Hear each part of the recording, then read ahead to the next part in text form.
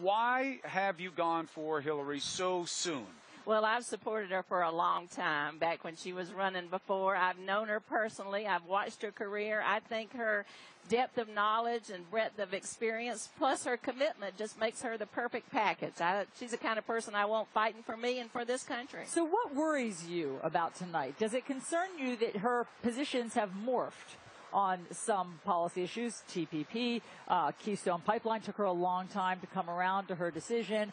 Um, will that come up and will that give you a little pause? Well, I think this will give her a great opportunity to explain how her positions have evolved. And she's a great debater. Uh, she, they say, well, she hasn't debated for a while. She knows these issues just so well and feels so strongly about them. I think her performance will be perfect. She's perfect. That's, well, that's a very reasonable expectation.